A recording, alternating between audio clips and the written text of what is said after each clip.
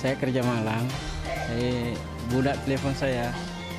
Saya tengok api memang dia cakap memang habis rumah sudah tidak ada. Ya. Saya tidak tahu apa puncanya tuh api lah. Habis. Semua rana semua tidak ada diselamatkan. Cuma yang surat-surat anak itu ada dua lah yang tidak dapat diambil. Separuhnya itu barang-barang semua tidak ada habis. tidak dapat dia. Hanya kain inilah yang ada.